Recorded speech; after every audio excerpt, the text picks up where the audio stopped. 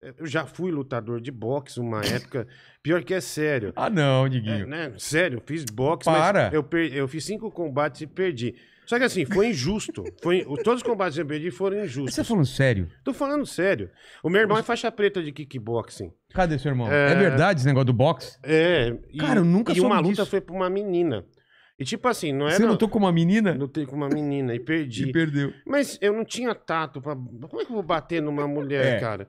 Aí o, o, o juiz falou assim: ó, maneira aí e tal. Eu falei, pô, mas vai maneirar como? É. Não tem como. Ou você vai pra bater ou É, você fica. fiquei me defendendo até tomar um nocaute.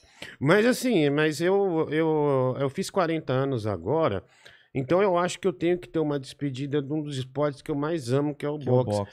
E eu acertei aí, não sei se. Vou falar depois, falar depois. Agora não, mas eu acertei Tá. um esquema aí. Vai ter uma luta grande. É uma luta grande aí que eu vou fazer uma grande despedida. Se Deus Mas- quiser, e vou vencer. Eu não quero ser indelicado, assim, mas você vai se preparar pra ela? Sim, sim, sim, sim, sim. Vou É? preparar. Já tem um lutador de MMA aí que vai me treinar a partir de quarta-feira que vem. É, eu vou anunciar o nome dele no meu Instagram em breve. Negociação foi rápida. Foi né? rápida? Porque ele falou assim, cara, eu vou fazer você perder muito peso. Ele tá mais interessado nisso, porque se ele conseguir isso, eu sou um case enorme pra ele, né? Ele vai falar, nossa, bicho, olha, o cara é bom. Daí vai um monte de gordo lá pra ele. Pra fazer aula com ele, no boxe e tal. Enfim, mas eu, eu, eu gosto do esporte e graças a Deus eu consegui essa, esse grande evento que já já Vai a gente vai...